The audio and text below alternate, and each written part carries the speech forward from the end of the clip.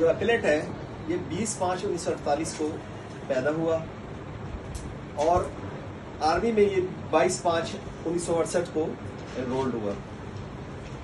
जो इसकी pension book है और जो डिस्चार्ज बुक है, उसमें इसकी डेट ऑफ़ बर्थ जो है 22 पाँच उन्नीस सौ अड़सठ ही है। और फादर का नाम फादर के नेम जो है कैसर खान लिखा हुआ है। अनफॉर्चुनेटली जो सी एन आई सी है जब 2003 में अमेंड करवाया इसने तो उस पर इसकी डेट ऑफ़ बर्थ एक एक उन्नीस सौ अड़तालीस हो गई और फादर का नेम कबीर खान हो गया। अच्छा सर, इसमें ये हुआ है कि जो मेरी ग्राउंड्स हैं फ़र्स्ट ऑफ़ ऑल सर, ये आपको एक करना चाहता हूँ sir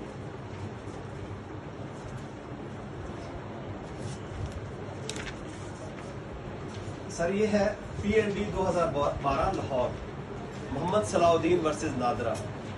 No reason existed to believe that date of birth mentioned in the document produced by the plaintiff was managed one. कि सर, कोई रीजन नहीं है कि इसने खुद अपने तरीके से जो डेट ऑफ़ बर्थ है मैनेज की है।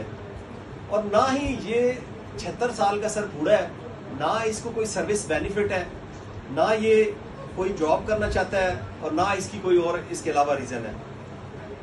और ना ही ये किसी और बंदे का राइट इफ़ेक्ट करना चाह रहा है। और इसके अलावा सर, ना ही नादरा को लॉ प्रोविडेट करता है कि वो करेक्शन ना करे। और इसके अलावा सर, सबसे इंपॉर्टेंट जो है सीएनआईसी का मतलब ये होता है कि correct record of dead person जब मेरे अपीलेंट का नाम ही उसके वालिद का गलत आएगा अब उसको सर, सबसे बड़ी प्रॉब्लम उसकी पेंशन स्टॉप हो चुकी है। 75 ईयर ओल्ड है। सिर्फ़ ड्यूटी के उसका जो कार्ड है, उसका नाम गलत है और डेट ऑफ़ बर्थ गलत है। और उसको कहा जाता है कि आप पहले जाएँ तो करेक्शन करा के लाएँ। जबकि नादरा ने आके कहा है कि जो आपने 2003 और 2018 में जो सीएनआईसी जमा करवाया था, उस पे फॉर्म में आपने यही डेट ऑफ़ बर्थ लिखी थी। तो इस वजह से हम आपके चेंजिंग नहीं करेंगे। तो sir I respectfully prayed that इसके अलावा भी सर एक रेफरेंस है 2020 एस एम कि इसमें भी सर कहा गया कि अगर कोई जॉब रिक्वायरिंग नहीं है या सर्विस रिक्वायरमेंट या एनी अदर कोई लीगल नहीं तो करेक्शन मेयर करेक्शन परमिशन की जा सकती है। सर आपके जो क्लाइंट हैं सर। उनका क्या नाम है? Fazal Hussain sir. Fazal Hussain son of son of sir Kabir Khan है। अभी तो लेकिन मेंशन करेक्शन में कैसर खान है के ए आई एस अच्छा मुझे ये बताएँ कि ये आर्मी में कब एनरोल हुए? सर ये वन नाइन उन्नीस सौ अड़सठ में सर बाईस मार्च। बाईस पाँच जी सिक्सटी सर और अ, इनका डेट ऑफ़ बर्थ जो है वहाँ पे क्या लिखा हुआ है सर्विस में? बाईस पाँच उन्नीस सौ अड़तालीस सर इसका कोई सबूत आपने प्लेस किया? सर पेंशन बुक एक्सबिट और पेंशन बुक और डिस्चार्ज बुक दोनों में है सर। एक्सबिट बी वन और में दोनों अटैच है और ये आप रिटायर कब हुए?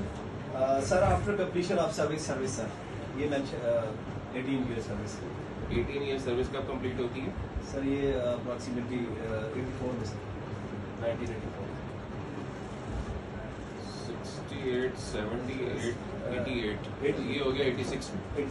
तो 86 में जब आप रिटायर हुए तो आपका कोई सबूत है कि आपकी डेट ऑफ़ बर्थ और पेरेंटेज ये लिखी हुई सर पहले वाले शनाख्ती कार्ड में यही लिखी हुई थी जो डिस्चार्ज बुक और प्रिंटर पे है। ये कॉज तो ये फ़र्स्ट जो है आपको कब गलत हुआ ये? सर ये फ़र्स्ट ऑफ़ तो 2000 अ, अभी जो कॉज ऑफ़ एक्शन जब स्टार्ट हो रहा है सर मेरे जो नॉलेज में या जब मुझे अ, 2018 में जब मुझे उन्होंने कहा कि आपकी 75 एज होगी है अभी आप पेंशन नहीं करते तो कॉज ऑफ़ एक्शन सर तब स्टार्टेड है तो आपने सूट कब फ़ाइल किया? सूट चार चार दो हज़ार चौबीस तो ये मुझे बताया कि 18 से लेकर 24 तक आपने क्यों डिले किया। आपकी तो करेक्शन की क्या लिमिटेशन है? सिक्स ईयर सर अभी सर इस पे भी लिमिटेशंस एक्ट का है सर कि इन्होंने सेक्शन 120 को जो लर्नड सिविल जज ने दी है लिमिटेशन एक्ट 120 का दिया है। वो फॉर आर फॉर ऑल जिसकी अवेलेबल नहीं है लिमिटेशंस पीरियड उसका रेफरेंस किया है सर उन्होंने। तो इसमें सर, इसमें ये भी है कि थोड़ी सी इसी में आपसे गाइडलाइंस भी यही लेनी थी लिमिटेशंस एक्ट पे भी कि मेरा केस जो है, जब काज ऑफ़ एक्शन जो है मेरा सर उस दिन से स्टार्ट होना चाहिए, जब मेरे बी एल एड को उसकी पेंशन स्टॉप्स होगी, उसके जो राइट्स हैं, वो हुए हैं, उस वजह से इसको अभी जब करेक्शन करना चाह रहे हैं सर। आप कहते हैं कि आर्टिकल 120 के तहत six years six year limitation अगर सर आप क्या 2000 लिमिटेशन फॉल करते हैं? सर अगर 2018 में भी C N I C second time जब वो रिन्यूट कराने गए हैं तो उस हिसाब से सिक्स ईयर में मैं फॉल करता हूँ अगर 18 में सिक्स ईयर में करते हैं। उसके अलावा भी अगर डायरेक्ट काउंसिल आपके जो क्लाइंट हैं ये गवर्नमेंट सर्विस तो नहीं है? नहीं अभी सर ये 17 सिक्स ईयर ओल्ड है ये अभी इनको सर बिल्कुल ज़यीफ है। जो इंक्लूड ऑर्डर है वो आपने प्लेस किया रिकॉर्ड जी सर इम्प्यूट ऑर्डर मेरे पास है सर साथ अटैच है सर बिल्कुल प्लेस है sir This bill is allowed Thank you, sir. and Dadra is directed to correct and amend their record accordingly. I did. Excellent presentation. Thank you. Correct.